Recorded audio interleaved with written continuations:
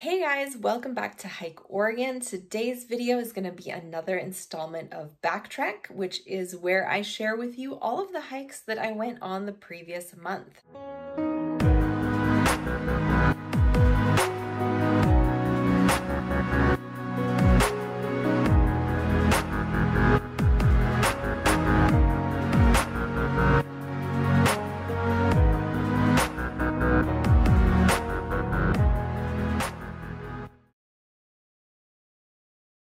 If you are new here, welcome to the Hike Oregon family. I make hiking and backpacking vlogs as well as gear reviews and just general tips and tricks videos to help you become a more confident hiker and backpacker. If you enjoy content like that, click that red subscribe button and the notification bell so that you're notified every time I make a new video. If you want to help support the continuation of Hike Oregon, make sure to support me over on Patreon, where for as little as just $1 a month, you get a ton of extra extra content from me. Okay, let's get into the video. The Aubrey Butte Loop is not an official loop, but on the map I saw that I could connect the Eugene to Crest Trail and the Aubrey Mountain Trail to make a 7.7 mile loop. This trail is just minutes outside of Oakridge, and the trails were in perfect condition. It really made for a great winter hike with some elevation gain, views, and a beautiful forest to walk through. On January 9th, I went to the Big Island of Hawaii, so the next few hikes hikes are all on the island. The Akaka Falls Loop is at the Akaka State Park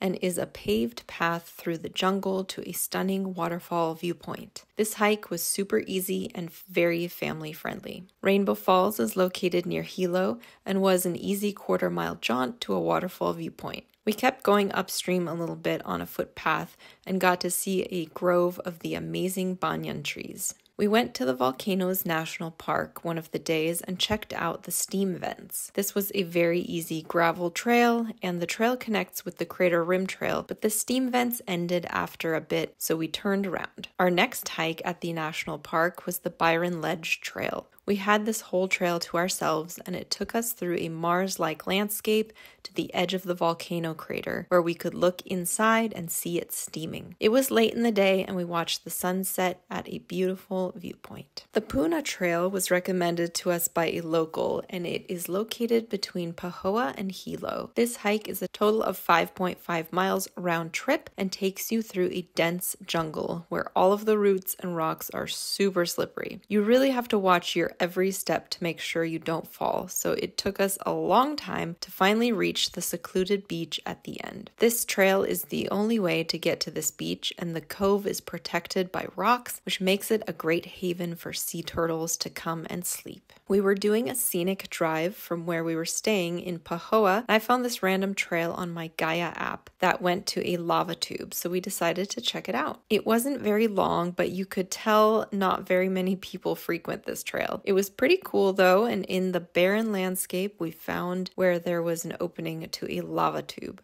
The opening was a bit precarious, so we didn't go inside.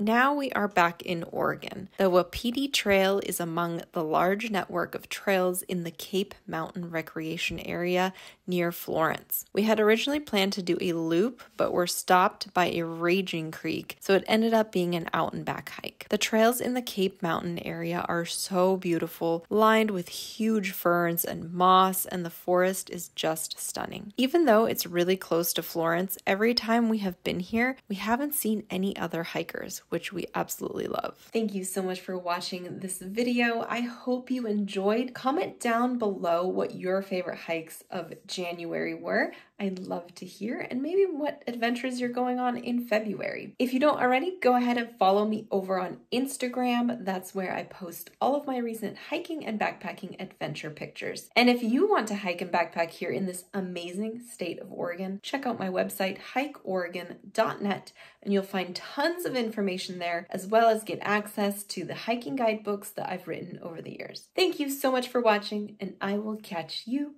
on the next adventure.